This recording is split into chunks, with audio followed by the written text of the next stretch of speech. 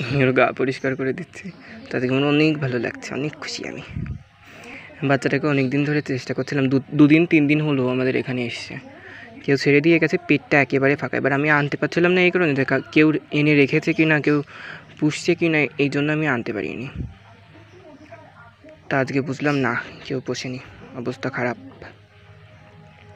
ওকে আগের দিন পড়তে যাওয়ার সময় দেখলাম বাইরে পার্কের সামনে গেটে বসে আছে একজনের বাড়ির সামনে। আসার সময় নিয়ে আসব ভাব- ভাবলাম, এসে দেখি সেখানে আর নেই। কত ডাকলাম, তাও পেলাম না। আজকে ঠিকই চলে থালার উপর উঠে খায় না মা, নিচে নেমে খাতে হয়। নিচে নেমে খাও। সুন্দর একটা মিষ্টি বাচ্চা। মিষ্টি বাচ্চা, আমার কিন্নির মতো। খুব ভালো হলো প্রতিদিন আসবা মা। তুমি যদি থাকতে চাও, এখনই থাকবা। আমি তাড়াবো না তোমায়। কিন্তু ঘরে নেওয়া যাচ্ছে না। ঘরে নিয়ে গেলে ওরা তোমার চারজন মিলে তক্তা বানাবে। হ্যাঁ চারজন মিলে তক্তা বানাবে। নাও, আমি আদর করে দিচ্ছি, তুমি খাও। কুটি বাচ্চা। খাও খাও। খাও, যেটুকুনি খাবা খাও, আমি জল দেবো তারপরে। ভাত ঠান্ডা? ঠান্ডা ভাত, মা। ঠান্ডা না লেগে যায়।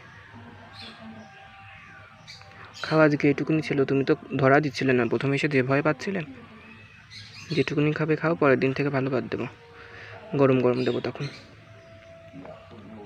প্রথমে ক্যাট ফুড দিয়েছি। মানে একেবারে পালিয়ে পালিয়ে যাচ্ছে। না তুমি খাও বাবা, আমি আদর করব, আমি যাব না কোথাও। তুমি খাও। লক্ষ্মী বাচ্চা একেবারে।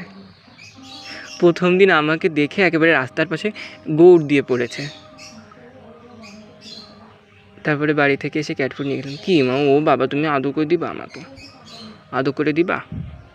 তুমি খাও, খাওয়ার পরে থেকে যেও যাবা না। বুঝেছ? তোমাকে আমি দুবেলা ঠিকই খেতে দেবো। আমি যদি খেতে পারি, তোমাকেও খেতে দেবো, বুঝলে? তুমি খাও, আমি আদর করছি, আমি যাব না কোথাও। আমি চান করতে আসছিলাম, এবার এসে দেখি এই অবস্থায় যে আমাদের বাড়িতে সব ভাঙা, ভুঙা সব কিছু খাও তুমি, মা। ও এসছে মনে হয় এই পাশ দিয়ে। এই পাশটা ভেঙেছে ও যে কলম ওঠানোর জন্য এই জন্য তুমি খাও, আমি তারপরে আদর করব, আমি যাচ্ছি না।